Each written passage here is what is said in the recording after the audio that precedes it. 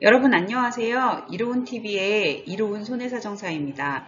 여러분의 보험금 청구 생활에 도움이 될 수 있도록 돕는 간호사 출신의 손해사정사이고요.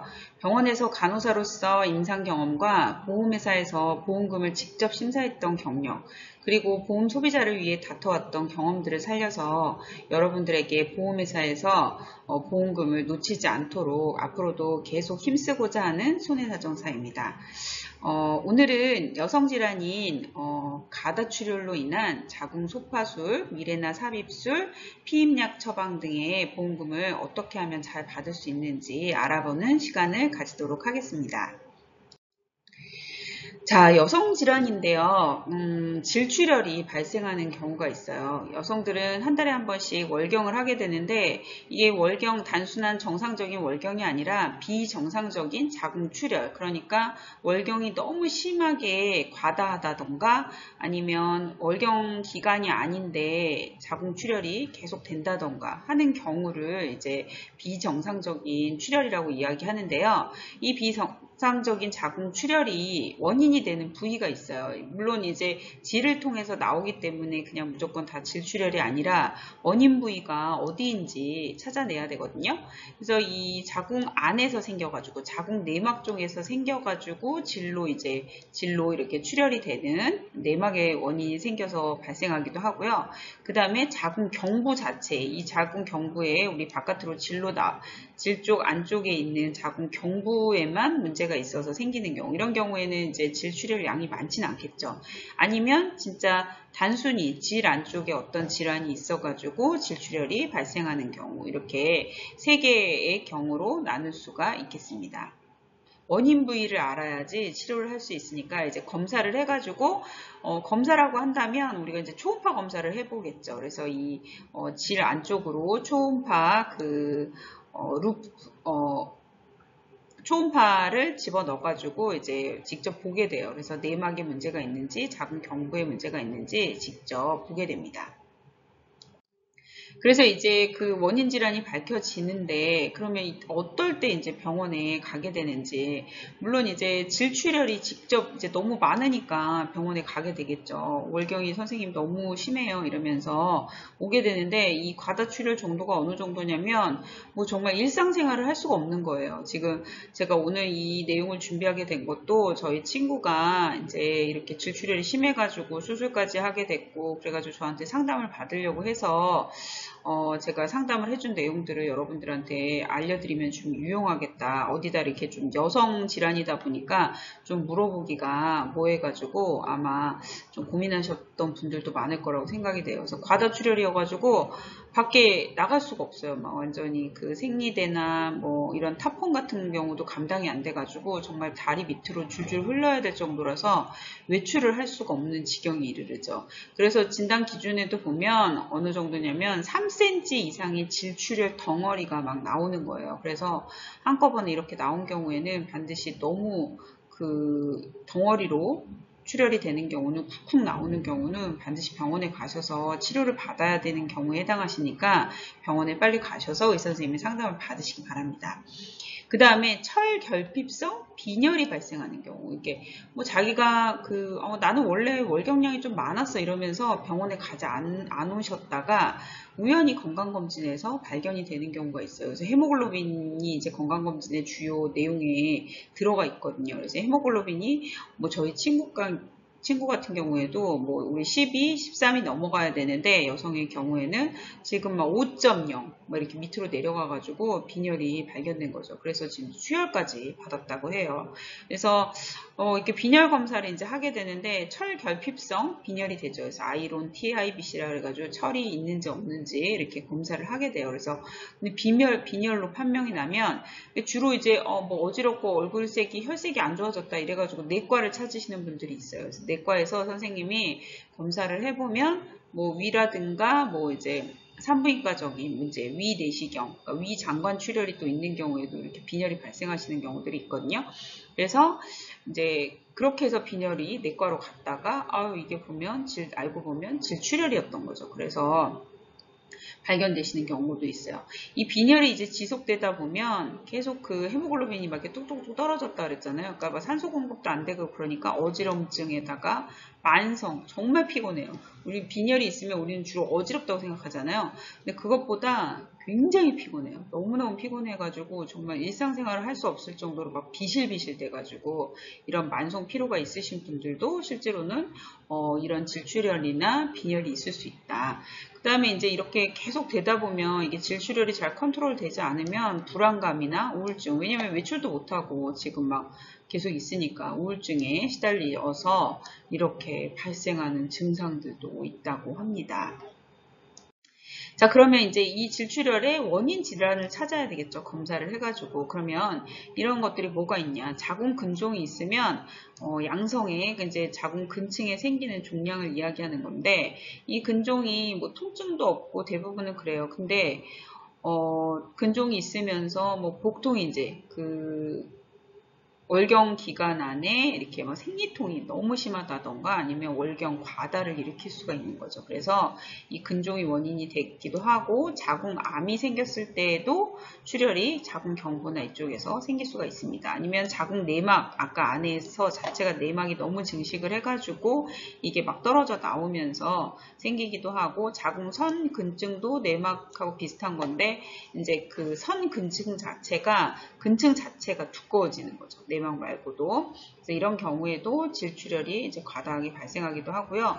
자궁 경부나 자궁 내막에 용종이 생긴 경우에도 질출혈이 발생을 합니다.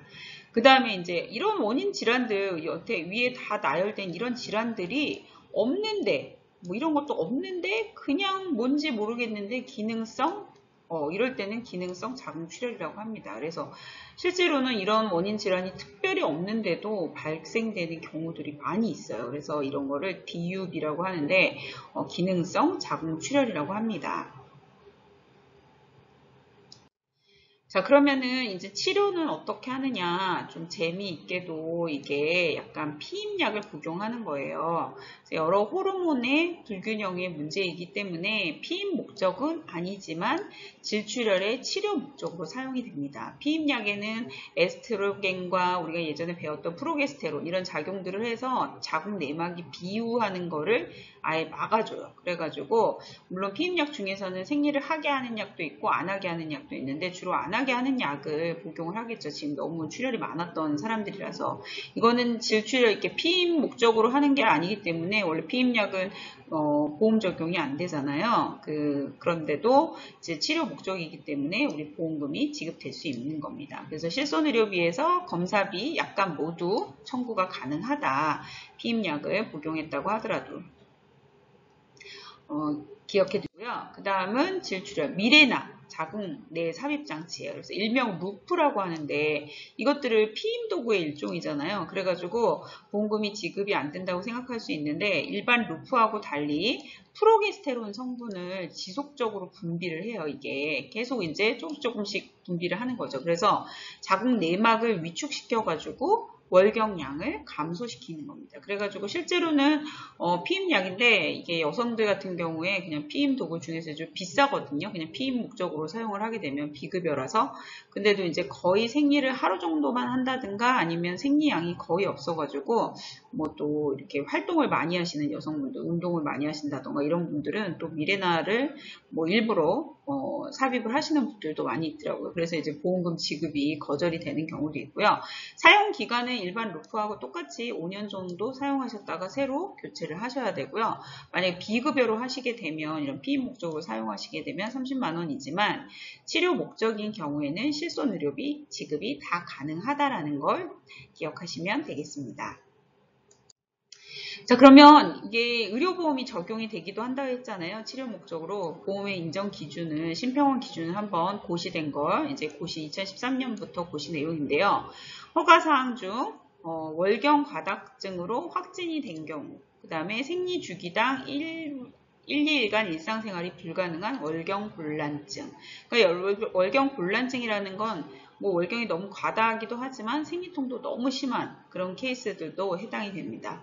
또 에스트로겐 대체 요법 시 경구 프로게스테, 프로게스틴 제제를 사용할 수 없거나 간 등의 대사 기능에 문제가 있는 경우. 그러니까 아까 경구 피임약을 복용해가지고 치료를 한다고 했잖아요. 그런데 이제 간 기능에 문제가 있어서 먹는 약을 못 드시는 분들한테는 이런 미레나가 의료보험이 적용이 된다는 거죠.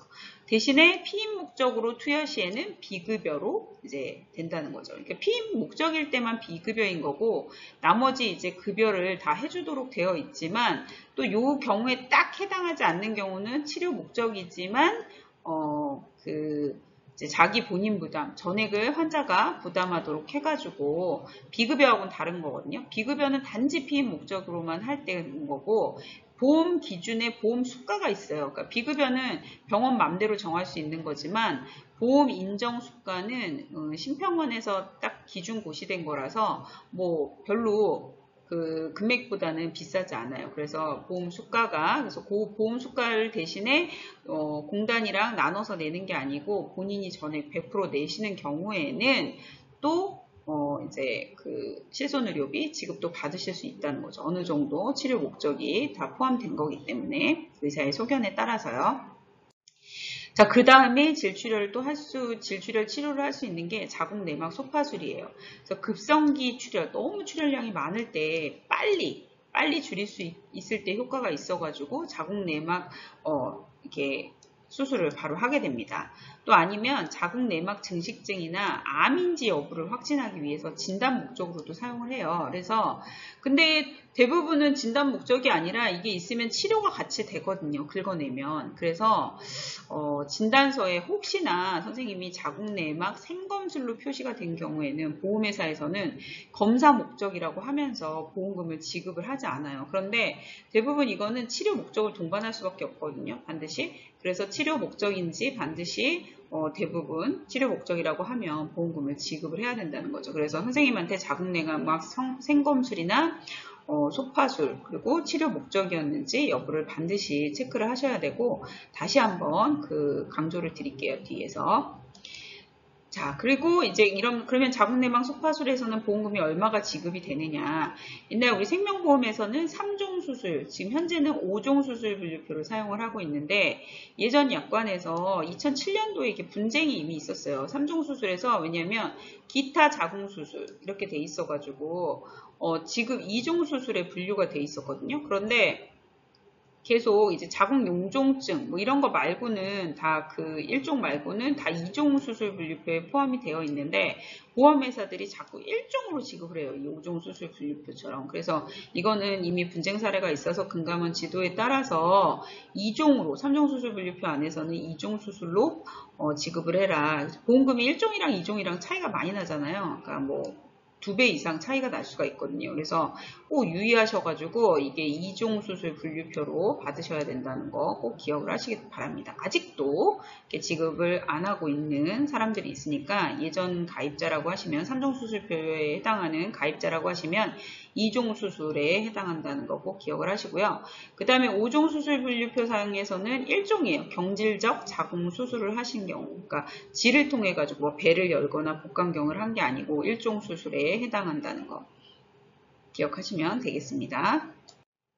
자 그러면 보험금을 청구하실 때 주의사항이 뭐가 있을까요? 이게 수술을 소파 수술을 하실 때는 납병동 입원으로 입원을 해, 하셔가지고 이게 굉장히 만성 피로고 철 결핍이고 이러다 보니까 어, 또 수술하시, 소파 수술하고 나서 아, 기 이렇게 유산 수술하는 거하고 똑같아요. 유산 수술에 관해서도 보험금 지급이 되는지 안 되는지 다음에 한번 더 어, 다루도록 할 텐데요. 그래서 그 소파 수술을 하시고 나면 이제 뭐 철분 제제도 주사를 맞아야 되고 또 영양제도 많이 대부분 지금 만성 피로나 이런 것들 때문에 맞으시기 때문에 입원으로 하셔서 입원 의료비로 받으셔야 여러분들 뭐 이제 통원 의료비에서 이제 한도가 있으시 경우가 많으니까 그렇게 그 납병동으로 입원해서 입원 의료비로 그 청구하시면 보험금을 받으실 수 있다. 그 다음에 피임약 처방전, 처방전을 꼭 받아서 약값 처리를 하시라는 거예요. 그래서 그냥 피임약 사서 드세요. 뭐 선생님들이 이렇게 하셔가지고 말씀을 의사 선생님이 혹시 하시면 저는 이런 케이스들이 많았거든요. 선생님 저는 그 보험 실손의료비 청구해야 돼서요. 이거는 다 그 보험금 청구가 가능하다고 하더라고요. 그래서 처방전 주시면 어, 그 금액으로 처리하겠습니다. 이렇게 말씀하시면 그 약값 처리도 다 받으실 수 있으니까 꼭 처방전을 받으셔서 일반 의약품으로 사는 게 아니라 그냥 그 처방전을 통한 의약품으로 구입을 하셔라. 이런 걸 꼭 좀 유의하시고요. 그 다음에 아까 그 보험회사에서 자꾸 검사 목적이었으면 지급이 안 된다고 소파스 말씀드렸잖아요. 근데 이 질출혈 자체가 왜 생기는지 검사하는 것도 있지만 좀 긁어내고 나면 어, 이제 소파술이라는 게 이제 확장해가지고 안쪽을 다 긁어내는 거거든요. 그래서 긁어내는 것 자체면 다시 출혈을 예방하는 효과가 있어요. 그래서 예방하고 치료하는 효과가 있기 때문에 치료 목적이었는지 검사 목적이 아니라 소견서나 진단서를 첨부하시는 게 좋겠다. 그 다음에 손해보험회사에 좀 유의하셔야 돼요. 예전부터 이 소파술이 약간 이 흡인 도구로 활용하는 거거든요. 석션 기계 같은 거. 그래서 흡인이라고 생각했는지 옛날부터 심사할 때 아, 우리는 뭐 소파술 원래 지급 안 했어요. 이렇게 말씀하시면서 아직도 그 보험회사 매뉴얼에 지급을 하지 말아라 이렇게 되어 있는 것 같아요. 그래서 지급을 안 하는 케이스들이 있으니까 이거 누락되지 않도록 손해보험회사에서는 수술비 꼭 질병 수술비 꼭 받으실 수 있 도록 유의하셔야 된다는 거. 여러분들. 뭐 또 이렇게 여성분들한테는 되게 고통스러운 질병이거든요. 근데 이것도 질병에 걸린 것도 고통스러운데 또 보험금 하면 정당한 보험금 지급을 안 하고 거절되는 케이스들이 있으면 너무 속상하시잖아요. 그래서 주변이나 뭐 만약에 본인이 걸리신 경우가 있다면 꼼꼼하게 보험금 잘 청구하셔가지고 치료도 잘 받으시기 바랍니다. 만약에 이게 소파술이 또 안 되면 여성분들 같은 경우에는 자궁 저출까지 해야 되는 케이스들도 생겨요. 그러니까 어, 그것도 아마 뭐 더 의사 선생님하고 잘 의논하셔가지고 하셔야 되겠지만 치료도 잘 받으시고 보험금 청구도 잘 하시기 바랍니다. 오늘도 유익한 내용이 되셨나요? 유익한 내용이 되셨으면 어, 주변 분들한테 추천도 많이 해주시고 구독, 좋아요 부탁드리겠습니다. 다음에도 이로운 내용으로 찾아뵙겠습니다. 감사합니다.